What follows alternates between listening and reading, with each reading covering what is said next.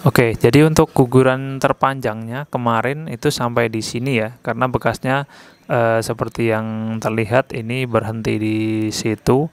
Mungkin itu udah turun ke sungai ya, udah udah turun ke sungai dan eh, oke dan warnanya sendiri sangat kontras sekali eh, antara material dan juga material yang lama dan juga material yang baru. Kemarin saya pantau dari sini hari Selasa ya, itu masih apa ya warnanya masih sama antara guguran baru dengan yang guguran lama. Kalau untuk yang kali ini mungkin karena gugurannya agak e, banyak dan agak besar jadi warnanya sangat berbeda sekali ya.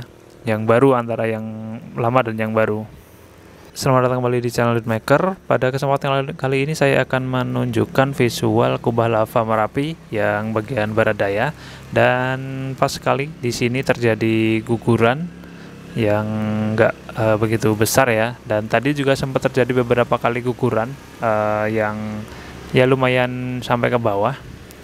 Dan untuk kali ini saya akan memperlihatkan uh, bekas dari guguran ya yang kemarin terjadi. Oke, jadi berikut ini adalah bekas guguran yang kemarin terjadi ya. Dan ini untuk bekas gugurannya yang terpanjang sampai di sampai turun ke sini ya. Mungkin ini udah turun ke sungai. Karena ini kan bawahnya udah sungai ya ini ya. Nah, ini paling panjang ke situ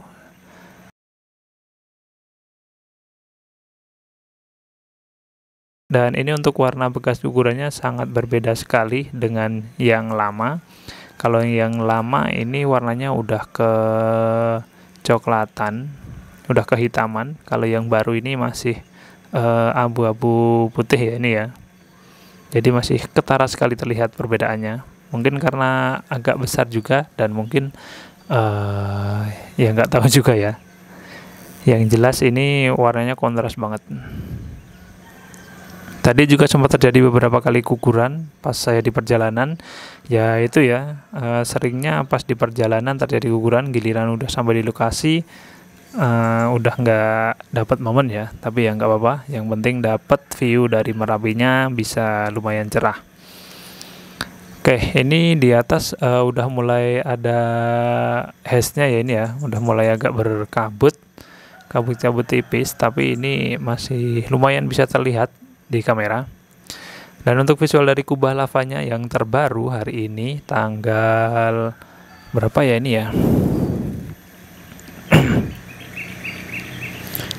hari ini tanggal 8 Januari 2022 untuk visual kubah lavanya yang terbaru seperti ini ya. Untuk warnanya sendiri ini agak ke putih-putihan.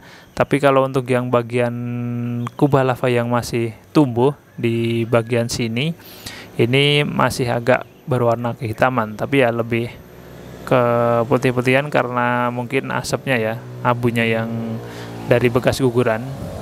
Ini gugurannya bisa terlihat bebatuannya turun dan diikuti asap-asap di belakangnya.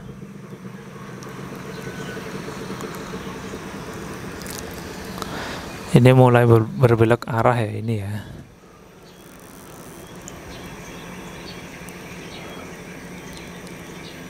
Nah ini kan e, kemarin yang atasnya ini sempat berwarna hitam ya. Nah ini mungkin karena e, terkena awannya, awan panasnya. Jadi ini warnanya agak berubah ke putihan.